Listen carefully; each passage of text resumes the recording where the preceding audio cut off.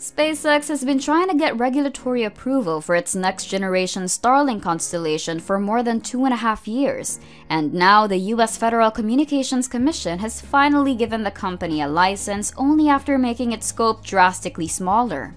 So in today's video, we will check out everything on the SpaceX Starlink Gen 2 constellation that was weakened by the partial FCC grant. Welcome to Smarter Tech, and without further ado, let's get started! For those who may be wondering what the FCC is, it stands for Federal Communications Commission, and it is in charge of regulating radio, TV, wire, satellite, and cable communications between the 50 states, the District of Columbia, among other countries.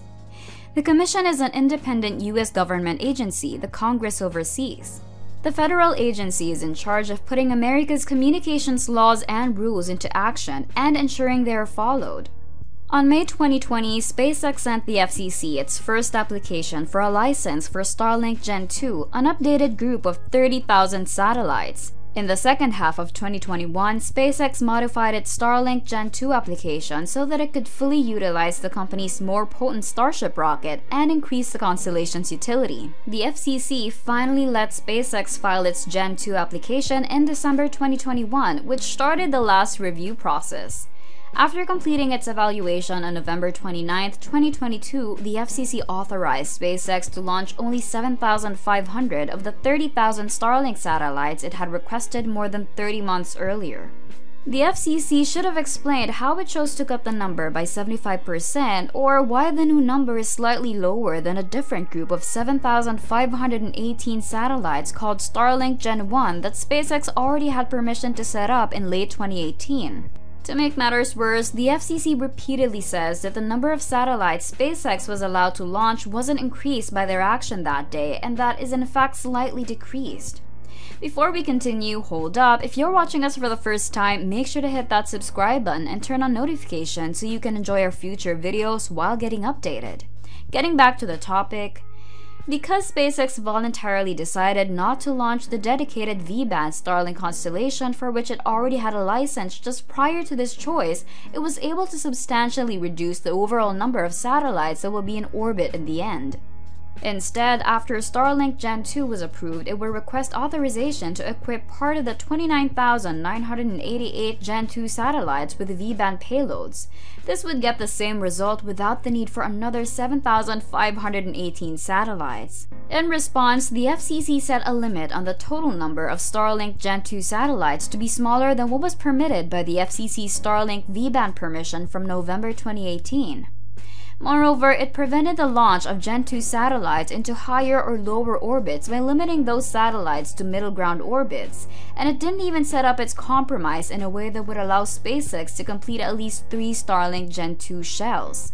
What's worse, SpaceX's extensive plans to use next-generation ground stations and E-band antennas on Starlink Gen 2 satellites hardly received a mention in the FCC's conditional permission. Instead, it only stated that additional assessment and coordination with federal users would be conducted before deferring acting on the request. It makes us wonder what the Commission has been doing in the 30 months since SpaceX's initial Gen 2 application and the 15 months since its Gen 2 amendment that the FCC claims it needs more time for it to analyze the difficult and unique issues on the record before the Commission. In contrast, SpaceX obtained a complete license for its 7,518 satellite V-band constellation in less than 5 months. 16 months after its initial application and 8 months after a revised application, SpaceX 4,408 satellite Starlink Gen 1 constellation received a license. It was the first mega constellation that the current FCC had ever examined. The FCC's unusual and contradictory decision making is made further stranger by the fact that Amazon's Project Kuiper, which has the potential to be a significant competitor to Starlink in the future, was the inspiration for allowing SpaceX to launch a portion of its Starlink Gen 2 constellation. The FCC indicated that it agreed with Amazon's stance and that the public interest would be served by pursuing this approach since it would provide them the opportunity to monitor the development of this enormous deployment and more time to evaluate issues that are specific to the other orbits SpaceX wants.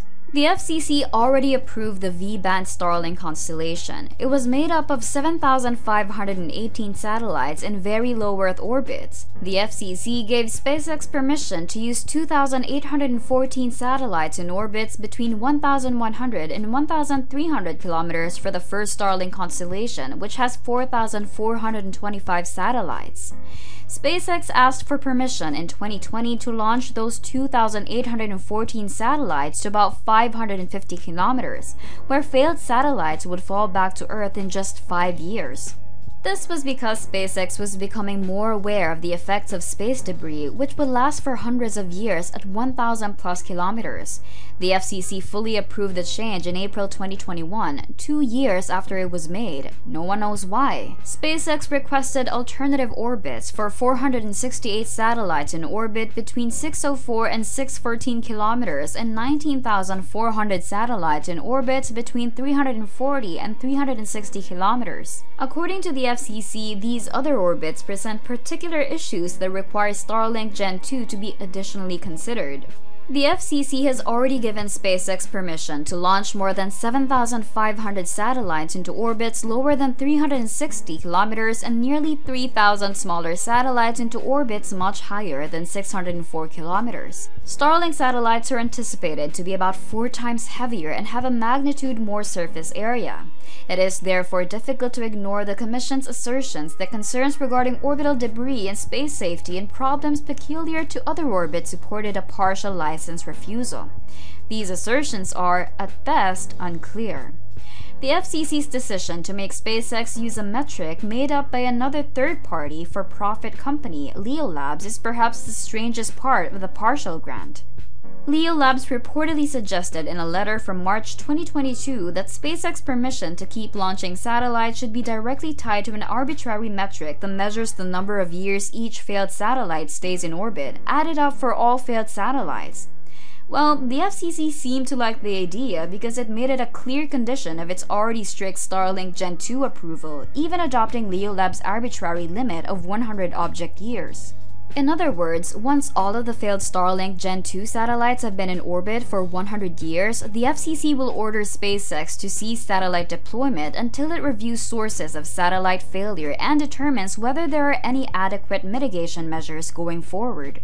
The FCC agrees that the arbitrary 100-year limit means that Starlink would have to stop launching satellites if just 20 of its satellites in operational orbits failed. However, the Commission doesn't say how it will decide when SpaceX can start sending Starlink rockets back into space again after a launch stop. SpaceX must also follow the FCC's deployment schedule.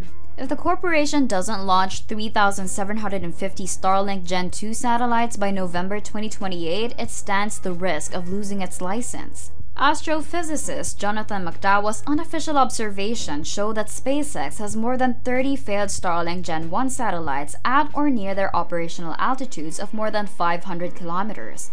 This means that SpaceX would almost certainly have to stop launching Gen 1 satellites if this new rule were applied to other constellations. However, the FCC makes it clear that, in theory, it will consider removing these limitations and allowing SpaceX to launch more of its envisioned Starlink Gen 2 constellation in the future. But the Commission has shown SpaceX many times that it will take years to change licenses or approve new ones.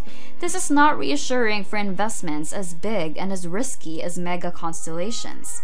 In the end, the FCC's partial grant put SpaceX Starlink Gen 2 constellation in a bad spot that can only be fixed with shady backroom deals. For the company to keep going with its current license, it might have to change its satellites and ground stations so they don't use the E-band, or it might have to take a chance and keep building and deploying satellites and ground stations with E-band antennas even though there's no guarantee it will ever be able to use them. Moreover, there is no assurance that the FCC will let SpaceX launch any of the 22,500 satellites that the partial authorization left on the table.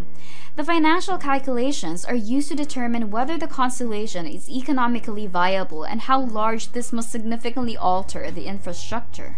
Anyway, what are your thoughts? Isn't the FCC limiting SpaceX potential? What kind of a mess do you think SpaceX is into? Comment down below. Also, please leave a like and subscribe. Don't forget to turn on the notification bell for more amazing videos. Goodbye!